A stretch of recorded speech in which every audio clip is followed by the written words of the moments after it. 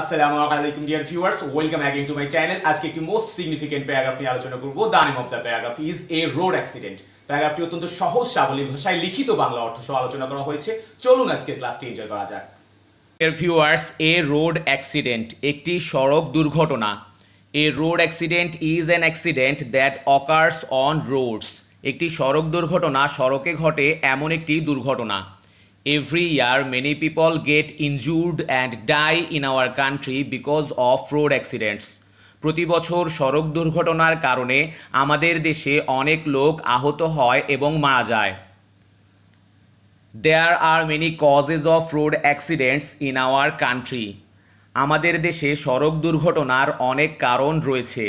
এখানে অ্যাক্সিডেন্ট মানে দুর্ঘটনা ইনজুর্ড মানে আহত।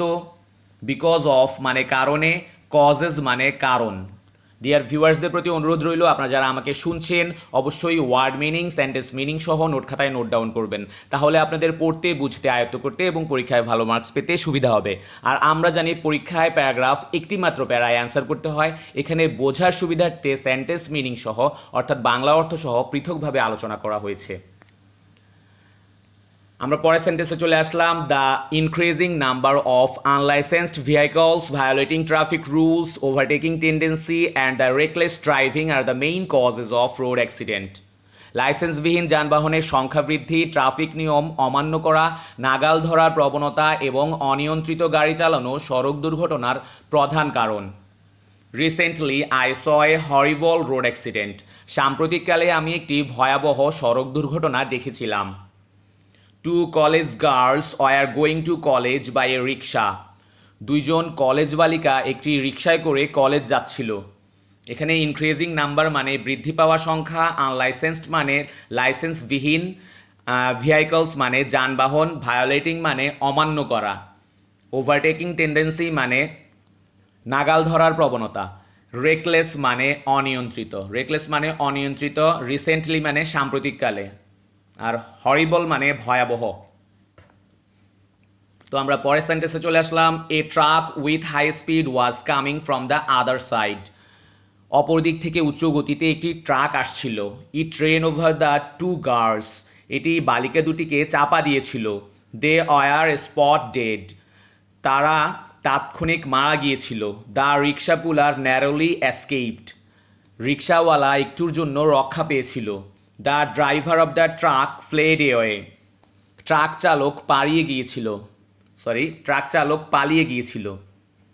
The dead bodies were sent for autopsy ময়নাতদন্তের জন্য মৃতদেহ পাঠানো হয়েছিল। এখানে হাই স্পিড মানে উচ্চ গতি স্পট ডেড মানে তাৎক্ষণিক মারা গিয়েছিল মানে নির্দিষ্ট স্থানেই মারা গিয়েছিল। ন্যারোলি মানে সংকীর্ণভাবে বা একটুর জন্য আর এসকেপড মানে রক্ষা পেয়েছিল ফ্লেড এওয়ে মানে পালিয়ে গিয়েছিল এবং অটোপসি মানে আমরা জানি ময়না তদন্ত। তো এভাবে simple lucid easy language use করেছি। আশা করি ডিয়ার ভিউয়ার্সদের ভালো লাগছে।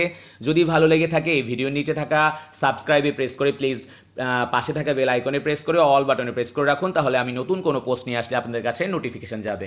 তো আমরা পরের সেন্টেন্সে চলে আসলাম। The government and the law enforcing agencies must be strict to enforce the traffic rules. Traffic আইন প্রয়োগ করতে সরকার ও আইন প্রয়োগকারী সংস্থাগুলোকে কঠোর হতে হবে। Separate lanes should be build পৃথক লেন নির্মাণ করা উচিত।